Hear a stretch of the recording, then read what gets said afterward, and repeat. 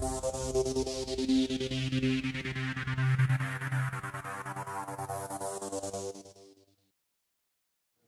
everyone, Chad Andrews here, Proform Inside the Tour, and we're getting ready to start one of the big stages here at the Larry H. Miller Tour of Utah 2015.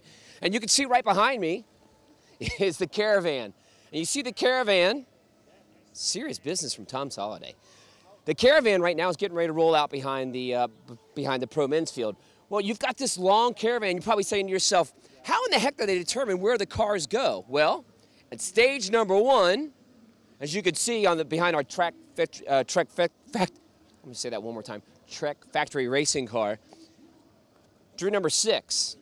Well, they got number six because they drew them out of a hat.